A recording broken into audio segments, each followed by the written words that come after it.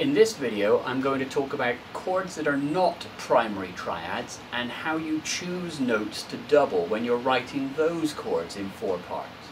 We've already identified the primary triads, 1, 4 and 5, and we've looked at a series of different ways that you can choose to double notes in those primary triads when you're writing them in root position. We're still dealing at the moment with root position chords, so whenever we write a chord in four parts, the bottom note, the root note, will be the note that is in the bass. It will always be the bass note at this point in time until we introduce the idea of inversions, which we will do in a few videos from, from uh, this one. What I've done on the board here is written up the other triads that are not primary triads, and I've written them in red so that they stand out a little bit. So the 2 and the 3 and the 6 and the 7 are the triads that occur naturally above a major scale or above a minor scale, and they occur, uh, but they are not primary triads. 1, 4, and 5 are our primary triads. The others, 2, 3, 6, and 7, are not primary triads. These triads, as you will remember from previous videos for last semester, the introductory foundational videos, we talked about triads sharing uh, a kind of function in common. That is to say that some of the not primary triads nonetheless work and function like the primary triads. For example, the 2 and the 4 kind of connect and function in a very similar way you can have a progression that has a 4 chord in it and you can put a 2 chord in in place and it generally will work quite well in that context. The 6, the 3 and the 1 chord share a lot of similarities. Even though the 3 chord is not used that often, when it is used it often shares connections with the 1 chord or the 6 chord.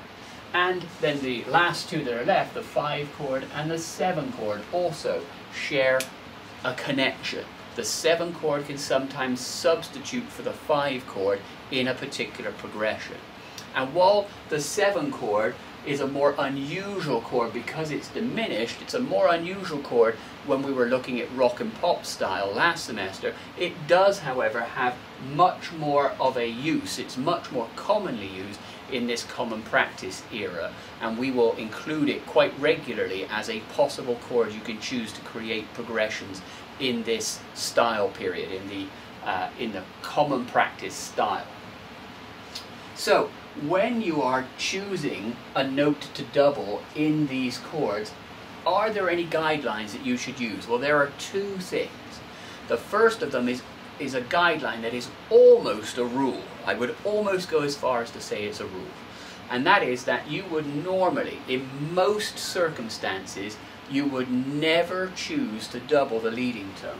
The leading tone here is a very active tone. It wants to get to the tonic. It's that classic when, we, when you go la da da da da da da da. That feeling of wanting to get to the tonic is very strong. And because of that, it creates a directional movement. Now, in a subsequent video, I'm going to talk to you about something that we need to avoid when we are writing in this style period, and doubling the leading tone can cause you to be to find it very difficult to avoid this particular circumstance that I'll introduce later on. So for now, accept the fact that we generally do not double the leading tone. And that the reason why we don't double the leading tone will make more sense in a later video, and I'll point it out when we get there so that you, you make the connection. But for now, just accept that the, the guideline, the guideline that's almost strong enough to be a rule, is don't double the leading tone. So, if you have a chord that you want to voice that has the leading tone in it, like the 7 chord, you would not usually double the root, because the root is the leading tone you would have one root, and then you might have two thirds, or, and one fifth, or one root, one third, and two fifths. But you would make the decision based on the fact that you know you should not double the leading tone. You should not double the leading tone, for example, in the 5 chord. You should not double it in the 3 chord. Wherever the leading tone occurs, you would try and avoid doubling it. Now, the uh, other notes on the other end, the other extreme, is let's take a look at, say, a very stable note in the scale, the, the tonic C. Wherever the tonic occurs, it's usually a good note to double. So the tonic occurs in the sixth chord as the third of the chord. So because the tonic is a strong, stable note, closely related to the key, I mean it is the foundation of the key, it is a good candidate to double. So if you want to double a note in the sixth chord, actually having one root two thirds and one fifth is a good choice because the tonic is a strong, stable note in the key. So when you're choosing notes to double, certainly part of it is going to be context, where you're coming from in a chord progression and where you're going to in a chord progression is going to be important. We'll get to that when we talk about something called voice leading. That's the way you choose to place notes next to each other as you move from one chord to the next, to the next, to the next. We'll get to that down the road.